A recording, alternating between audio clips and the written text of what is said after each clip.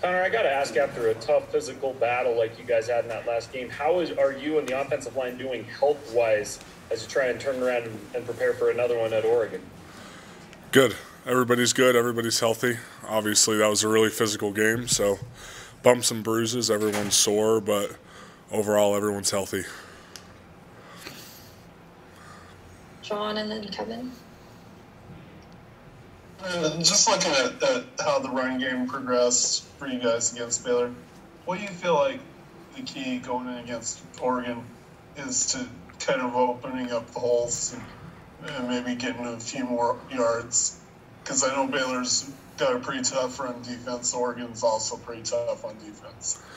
Yeah, yeah. I think obviously we didn't uh, do as good a job as we could have um, in the run game, and that's that's our responsibility as an offensive line. And so I think um, we just need to do a better job um, of starting and sustaining our combo blocks and getting to the second level. Because, like you said, Oregon has a has a great defense.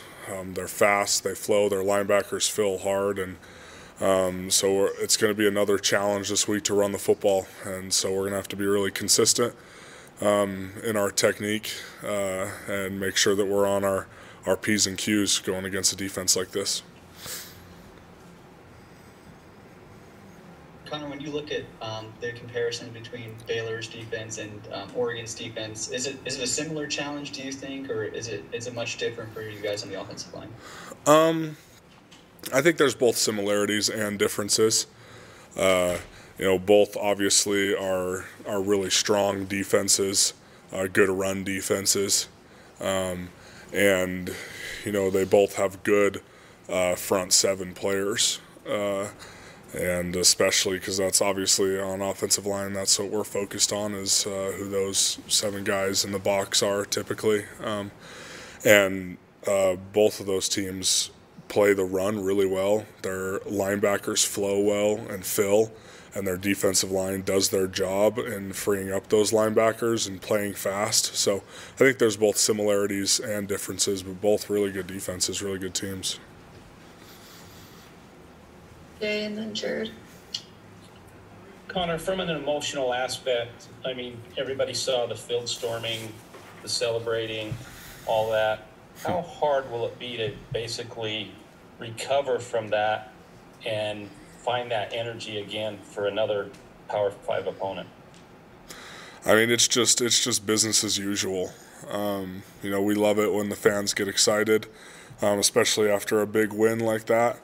Um, but for us, our minds are all on Oregon now and preparing uh, the same way we do every week. I mean, we've been through this before after uh, the Utah game last year. We had a really emotional win, having to regroup and refocus for uh, Arizona State. So um, I think just making sure that we um, stay focused on our opponent this week and prepare the way we know how. Um, and know that we're going into a hostile environment to play a really quality team. Um, and just preparing like we do every week. As long as we do what we're coached to do, um, then I think we'll we'll be okay and we'll be ready to play.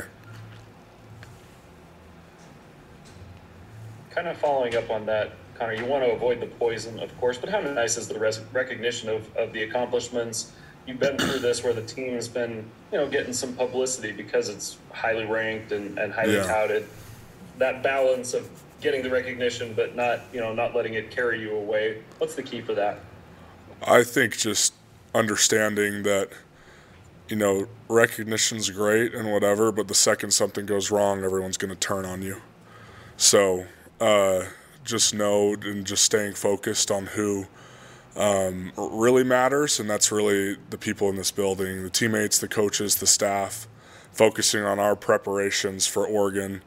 People outside can say whatever they want to say, and uh, it doesn't it doesn't really affect us uh, really at all because it's not. I mean, in reality, uh, it's not the opinion that matters to us. So just staying focused on our opponent and who we're playing because there's I mean, we we rushed for I don't know 83 yards against Baylor, and that's not very good at all. So, I mean, uh, we, there's so much to improve upon that it's really not worth it. I think to listen to the outside noise or I mean it's it's wonderful that we're ranked high and we're receiving recognition, but none of that matters if you don't prepare and go and win your next game. So just have to stay focused on your opponent and like I said before, preparing the way you know how and the way you've been coached and we should be okay. Hey, go ahead. Yeah, Connor, I wanted to ask you about playing alongside a guy like Clark Barrington. What's it like? It's great uh, to have a veteran and a leader like Clark uh, being next to you, just always knowing what you're going to get from him. Uh, kind of the the chemistry and the camaraderie is uh, is really nice, and that's kind of how it is across our whole unit. But uh, just knowing that uh, I know that I'm going to have a really consistent, really strong player next to me, really on all sides, is uh, is really nice, especially as a center when um, I'm getting up, making my calls, trying to get everyone on the same page, knowing that those guys are thinking the same exact things that I'm thinking because they've been here, they're veterans, they know the offense, and, and Clark exemplifies all those things. Is he much of a trash talker? Is anybody really on that offensive line? Um, it depends. Not really. We don't really we don't really trash talk very much. If I'm being honest, it's kind of we're gonna go, we're gonna try to run through your face, then we're gonna walk back and get ready for the next play. So we don't really have time to uh, trash talk. We're more worried about catching our breath. We'll take last question from Sean. Yeah, Connor, I just wanted to go back to, to moving on from obviously that emotional win, like you were talking about there. Mm-hmm. Uh, but Kalani mentioned um, kind of the cadence of the season, sort of getting in and out of a game, and then out of a win, a win or a loss, really, and moving on to the next to the next game. Can you kind of walk us through sort of what the the kind of gap is between when we see you guys in the post game and then Monday morning, how you guys kind of move on because you've been through it so many times, obviously by now.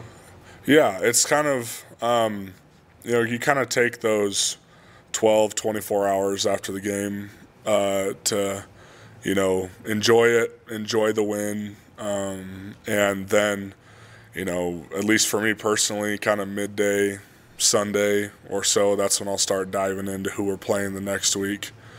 Um, and then Monday, we're hitting it hard. Monday, that game's over. Great that we won. Doesn't matter anymore. We're moving on to our next opponent. New preparation, uh, a new challenge for us, and obviously we have a big one this week in Oregon. So um, usually, uh, you know, you take that day or so to enjoy the win, and then uh, get locked in for the next week. Then you put it behind you. It's in the past. Um, there's plenty of mistakes to look through on Monday and correct for your next game.